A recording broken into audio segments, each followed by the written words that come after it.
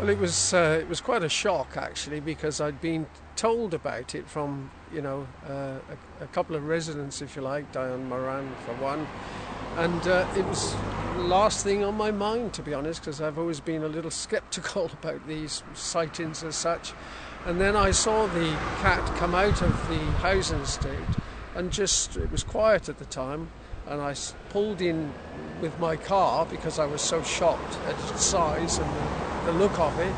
And I just watched it stroll across from Western Knightwood Road across to the Eastern Knightwood Road, just north of Brendan Care.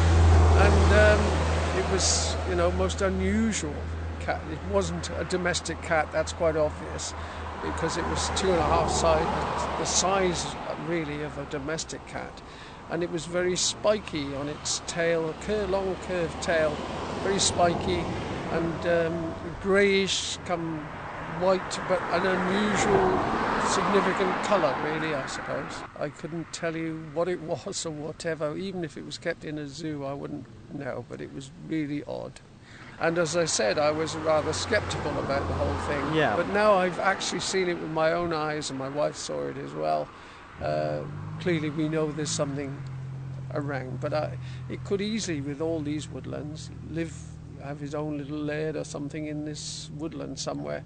It's not necessarily a fierce creature. It went across, um, you know, quite casually across the road because it was quiet at the time. Because normally this is a busy road, and um, but because of its size, my only concern, of course, if it was cornered some somewhere who knows with a young child. So people need to be vigilant, I think, until until unfortunately I didn't have a camera to be able to take a photograph of it.